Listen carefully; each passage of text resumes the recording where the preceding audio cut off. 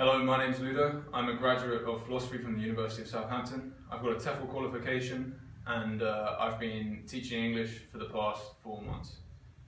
I'm, uh, I'm a fun teacher. I like to try and make my lessons fun and engaging and informative.